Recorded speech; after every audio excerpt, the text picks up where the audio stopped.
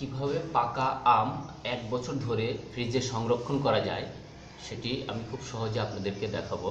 প্রথমে আমটি আপনারা পাকা আম, এইভাবে আপনারা জাস্ট একটু খোসাটা ছিলিয়ে নেবেন প্রথমে।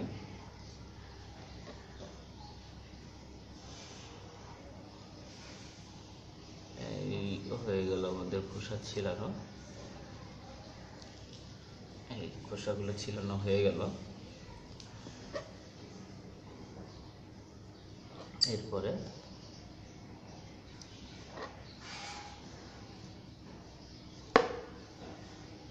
যে মাপের আপনি কাটতে চান, যে সাইজে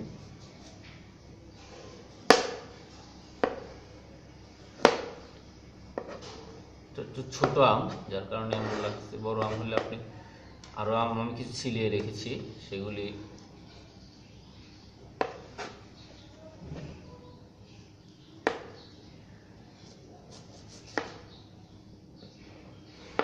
এইভাবে আপনি যেভাবে রাখতে চান সেভাবে টুকরোগুলো সেভাবে ঠিক করবেন।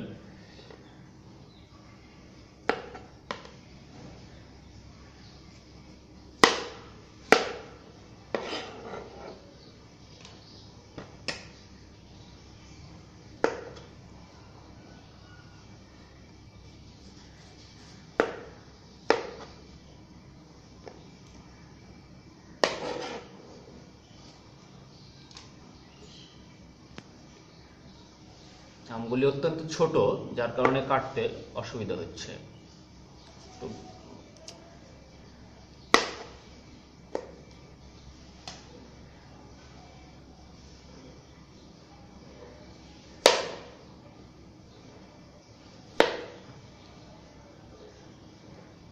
এই হয়ে গেল আমাদের আমগুলি কাটা।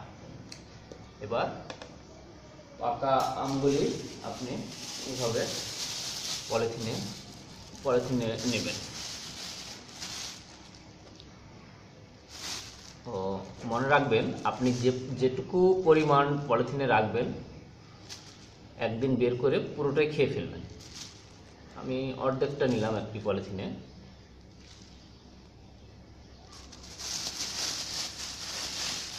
অর্ধেকটি নিলাম এবং বাকি অর্ধেকটি নেব আর একটি পলিথিন প্যাকেট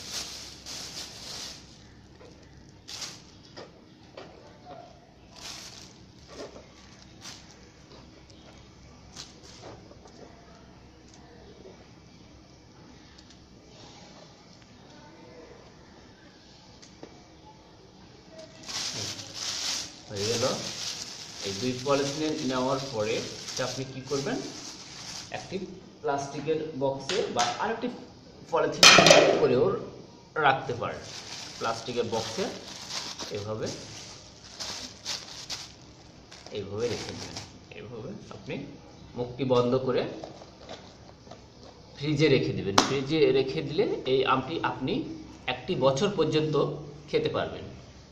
বন্ধুরা, আপনাদের এই ভিডিওটি যদি একটু উপকারে আসে, তাহলে আপনাদেরকে অনুরোধ করব আমাদের চ্যানেলটিকে সাবস্ক্রাইব করার জন্য। আমাদের চ্যানেলকে লাইক, শেয়ার ও কমেন্টস করতে ভুলবেন না। ধন্যবাদ। জারিফ